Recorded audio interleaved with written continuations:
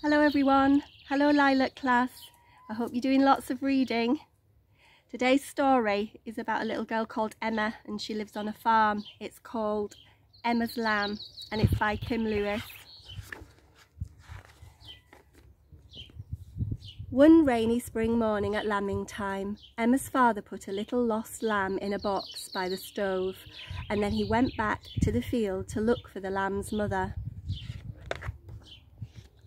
Lamb and Emma looked at each other. Ah, said Lamb, sitting up in his box. Emma wanted to keep little Lamb and look after him all by herself.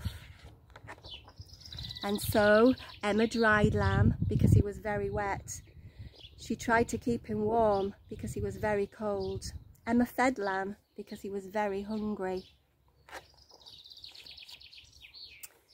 When Lamb was dry and warm and fed, he and Emma played. Ah, said Lamb, getting into a mess.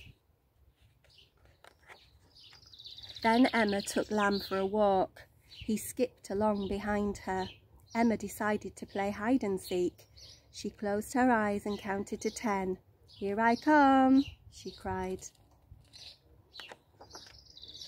Emma looked for Lamb in the stable. She looked for him in the barn. She looked for him in the granary. She looked all around the yard. She couldn't find Lamb in the house. He wasn't in his box. She couldn't find him in the sheep pens either. I give up, she shouted but Lamb was nowhere to be found. Emma didn't want to play any more. She wanted Lamb to come back. She thought he might be cold and hungry. Where are you, Lamb? She cried. Ah! came a sound from the hay shed. Emma ran inside to look. Lamb sat up in the nesting box where the hens had laid their eggs. Bah! he cried and ran to Emma.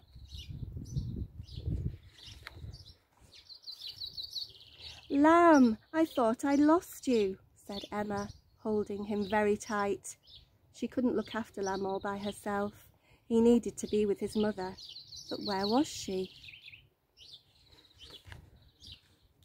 Then Emma saw her father across the field. A ewe without a lamb ran ahead of him, calling, "Ah!" He wriggled, Lamb wriggled to get free and Emma put him down. Lamb ran as fast as he could to his mother. Emma went to the field the very next day. When she called, Lamb came running to see her.